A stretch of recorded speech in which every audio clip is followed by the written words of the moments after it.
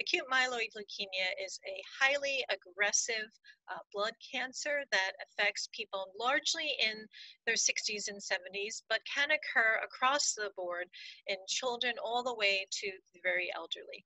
The majority of the patients with acute myeloid leukemia are increasingly being diagnosed in their 60s, 70s, and 80s because we're all living longer and because AML can be uh, a, a, a, uh, complication of prior suppressive therapy with uh, chemotherapy, radiation, and other modalities.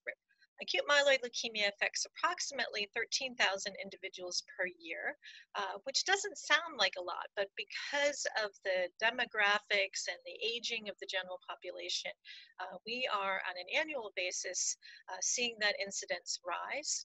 Uh, we're seeing more and more individuals with the disease, and um, most impressively, we are actually developed uh, specific therapies to treat uh, patients uh, who are older with uh, actually uh, more effective therapies that are also non-toxic.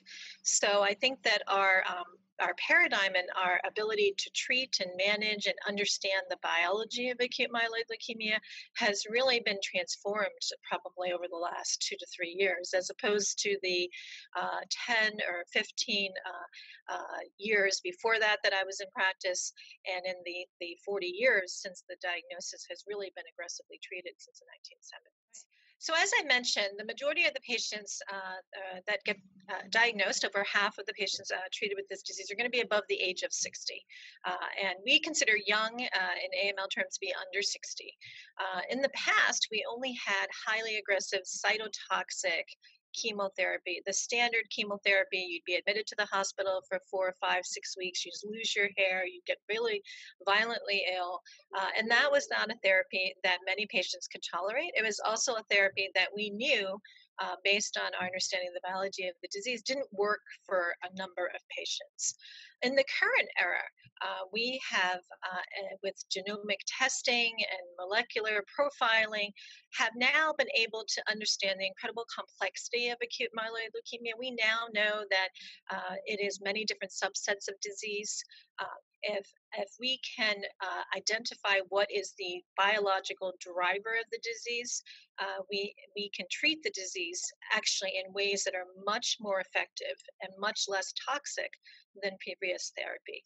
However, it is essential if we are to tell a patient uh, you have a disease that could actually be treated uh, with a pill, uh, that we identify those patients that are, are going to respond. And, and that I think is really um, where the, the, the transformation has occurred and our development of targeted inhibitors of specific pathways driving the disease. It is essential in my practice, and it's sort of been a paradigm change for us to do that molecular testing at the time of diagnosis. Many uh, clinicians were told acute myeloid leukemia is an incredibly aggressive disease, which it is, and warrants treatment immediately within 24 hours of diagnosis. We've actually stepped back from that and um, and said, yes, we need to bring these patients in, we need to stabilize them clinically, but it is absolutely critical to do mutation testing at diagnosis and at any recurrence of the disease to identify things, molecular abnormalities that we can treat more effectively than with standard chemo.